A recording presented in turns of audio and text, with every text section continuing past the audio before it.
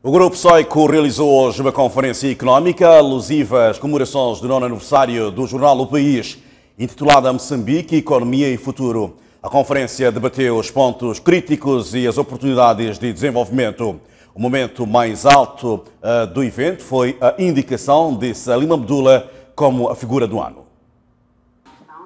Depois de lançar o jornal O País na plataforma digital, o Grupo Soico marca também o nono aniversário do jornal com uma conferência sobre o futuro da economia e a indicação da figura do ano.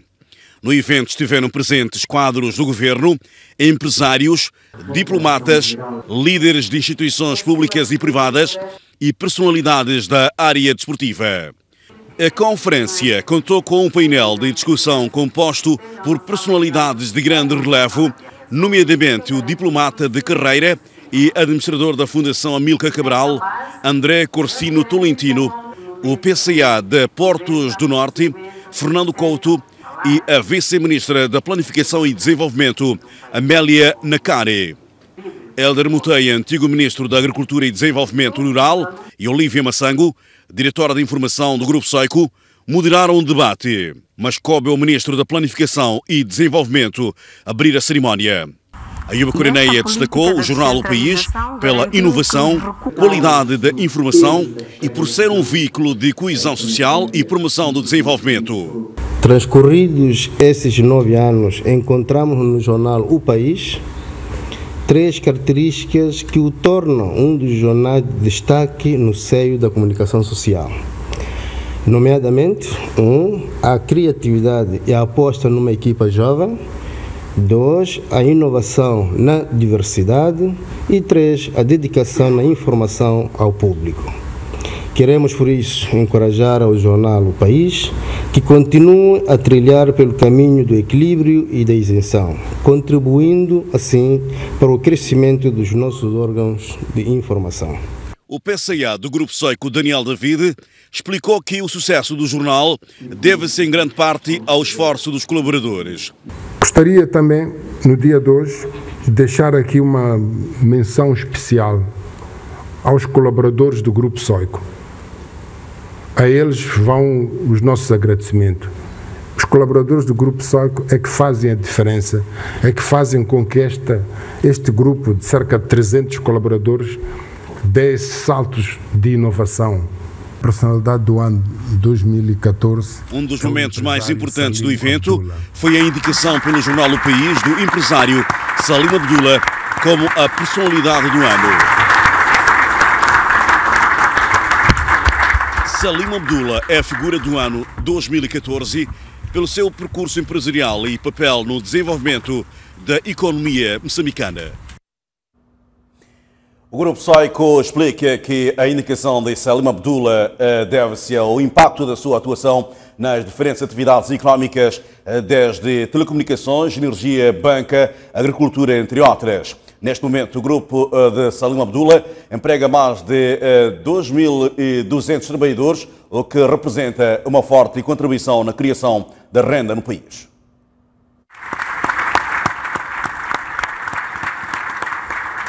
É a segunda personalidade nacional a receber, do Grupo Soico, o título de Personalidade do Ano, depois de, em 2013, a distinção ter sido atribuída ao Ministro das Finanças, Manuel Changue.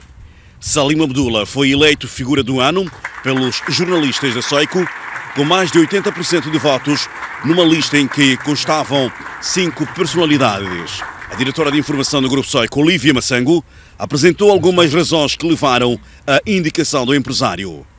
A escolha da personalidade do ano fundamenta-se no fato desta atuar nos principais setores que movem o desenvolvimento do nosso país e principalmente nos resultados dessa atuação há quase duas décadas. Referimos-nos à sua presença no setor de energia, telecomunicações, finanças, agricultura, recursos minerais entre outros setores como turismo, imobiliário, publicidade e consultoria. Ao investir nestes setores, a empresa fundada e presidida pela nossa personalidade do ano contribuiu para a criação de mais de 2.200 postos de trabalho e continua a fomentar o surgimento de pequenas e médias empresas no país, faturando anualmente perto de 200 milhões de dólares ano. Salim Abdullah agradeceu a distinção, destacou a importância do setor privado no desenvolvimento do país e afirmou que é com determinação que tem estado a desenvolver projetos empresariais, com destaque para a agricultura, área que abraçou atualmente. É com grande emoção que recebo este reconhecimento, agradecendo ao trabalho que o Grupo Soico e os seus colaboradores têm desenvolvido em prol de toda a sociedade moçambicana e arriscaria até mundial. O grupo se orgulha de ter criado mais de 2.200 empregos. Não estão inventariados os últimos investimentos que foram feitos durante este ano e que bem mencionou o setor agrícola na minha província natal, na Zambésia, onde eh, um projeto bem sucedido que está acontecendo criou num espaço abandonado, esquecido, onde as pessoas desesperadamente eh, não se viam e a pobreza circulava entre si, hoje têm uma esperança. Para além de dirigir o seu grupo empresarial, Salim Abdullah é também PCA da Vodacom Moçambique e presidente do Conselho Empresarial dos países da CPLP.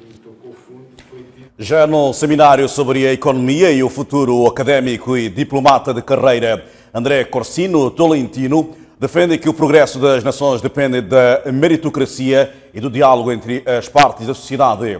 Tolentino é otimista e acredita num continente africano estável nos próximos 50 anos. Corzino Tolentino, principal orador da Conferência Moçambique, Economia e Futuro, é académico e antigo governante cabo-verdiano. Ele defende que a crise financeira internacional está a ser vencida e que o Estado Social não está em vias de extinção. Com mais ou menos danos, maior ou menor desfazamento entre a economia e as finanças, com mais ou menos especulação, parece que a economia dá sinais de retoma. E isso graças à convergência de dois fatores. Por um lado, os defensores da regulação, ou seja, do Estado social indispensável, por outro lado, da liberdade do mercado, que, eh, não sendo infalível, tem, dá sinais de que é indispensável. Tolentino entende ainda que as economias emergentes, não só o Brasil, Rússia, Índia e China, ganharão mais voz no concerto das nações. A experiência sugere que antes de irmos às terras dos outros, e tenho isso bem presente, uh, temos a obrigação de dar provas de que santo de casa pode fazer milagre e deve fazer milagre. Sim, pela dinâmica que os caracteriza, os países emergentes têm voz cada vez mais ativa na integração regional e na governação do mundo. O académico acredita num continente africano pacífico, democrático e bem governado, mas aponta caminhos. Para aumentar as probabilidades da concretização desta fantástica expectativa, os africanos terão de fazer melhor, fazer muito melhor, em pelo menos três domínios. Transformar a cultura do mérito na regra geral. O mérito como regra geral. Investir na educação, na educação de alta qualidade para o desenvolvimento do capital humano. Promover o diálogo entre o governo legítimo, o capital limpo e os sindicatos inteligentes. Promover o diálogo entre o Estado, o capital e o trabalho. Chamemos a isto um Estado social do século XXI. A vice-ministra da Planificação e Desenvolvimento, Amélia Nakari, defende que o governo tem optado por combinar políticas de proteção social para beneficiar as classes pobres. Para a governante, a governante fez esta declaração quando questionada sobre o modelo de Estado Social em Moçambique. Amélia Nakari defende que o governo aplica um modelo de proteção social misto em que privilegia a justiça social, equidade e transferências de dinheiro aos estratos sociais mais pobres. O governo tomou a, como agenda a decisão de que, bom, nós vamos chamar setores estratégicos no âmbito de combate à pobreza. Estamos a falar de justiça social, estamos a falar de equidade. E ele estabeleceu um orçamento e neste momento, esse orçamento é acima de 60% do orçamento total. Então, estamos a dizer que, sim, senhora, esse Estado, este governo está orientado para uma justiça. Diz ainda que foram estas políticas que reduziram o impacto da crise financeira global na economia moçambicana. O choque externo as políticas para garantir que os setores neurológicos da economia e da sociedade não fossem afetados, políticas de subsídios, políticas de transferências, por um lado, numa abordagem social, e por outro lado, políticas com vista a garantir que a economia continuasse a evoluir da plateia, o economista do Banco Africano de Desenvolvimento, André Santos, questionou a ausência de uma política clara de criação de emprego em Moçambique. A vice-ministra reconhece a incapacidade do Estado em absorver os cerca de 300 mil jovens que entram para a idade ativa, mas diz que há medidas aprovadas para dar a volta à situação.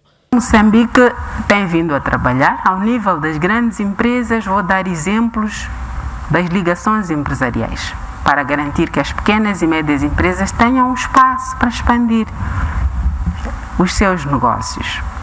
É da robustez destas pequenas e médias empresas nacionais que, por um lado, vai crescer a cota do rendimento do governo, porque é de lá que vai buscar os impostos, mas também da capacidade de empregar outros moçambicanos.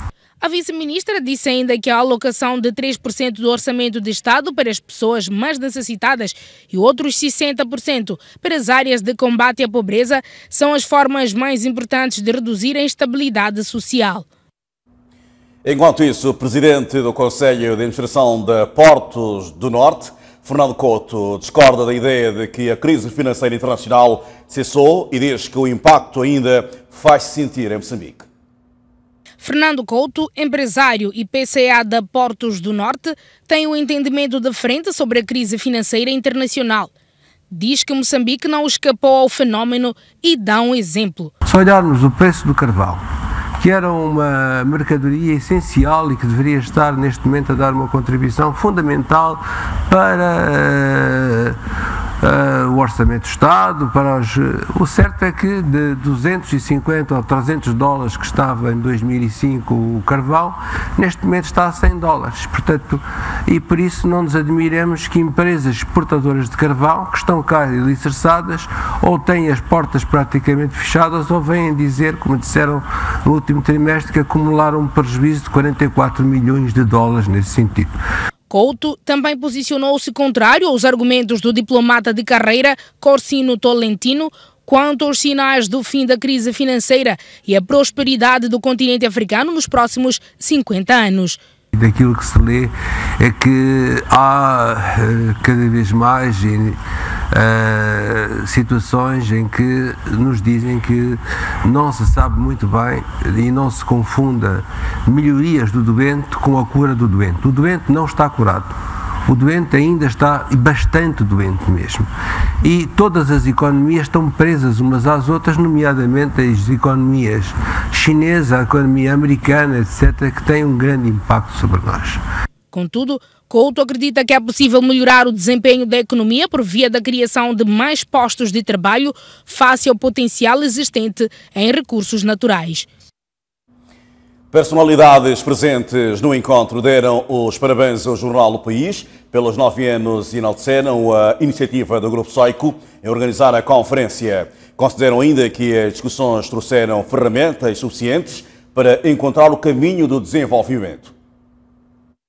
É, eu penso que foi uma ótima maneira de celebrar o nono aniversário do, da, do Grupo Soico e é, foi bastante interessante. É, eu gostei muito das intervenções é, todas. Eu penso que o, o que se falou tem um aspecto para mim centrado, que é o que se deve fazer para se criar emprego no nosso país. Nós podemos falar do Estado Social, podemos falar de qualquer bem-estar numa economia, mas tudo deve passar por aquilo que se deve fazer para que as pessoas tenham rendimento. E só pode haver rendimento se as políticas que forem, se forem traçadas terem em conta que é preciso criar-se emprego, criar-se capacidade das pessoas de empreenderem. Sou daqueles que, como a maioria, eh, dificilmente nós podemos ter um país economicamente forte, eh, com um futuro risonho, eh, com guerras, não é? Eu acho que não há nenhum país que desenvolve numa característica como o nosso país, de uma divisão de um país, ao meio, quase que posso dizer parabenizar a, Soico por ter completado o, seu nono aniversário e dizer que está de parabéns, de facto. O, o, país tem sido um grande jornal. Em relação à conferência, devo dizer que foi altamente positivo, mesmo para nós empresários. É, sempre é muito importante nós trocarmos ideias e impressões à volta das formas que nos permite desenvolvermos na nossa qualidade de empresário. Tive o prazer de escutar aqui pessoas muito, muito inteligentes, esclarecidas, bastante tranquilas no, na abordagem dos assuntos que aqui viemos tratar acerca de Moçambique e do seu futuro. Hum, tiveram aqui pessoas realmente, quem teve a oportunidade de estar aqui hum, pôde ter uma, uma abordagem diferente dos assuntos aqui relacionados. E quem não pôde estar aqui, infelizmente, não teve a oportunidade de escutar.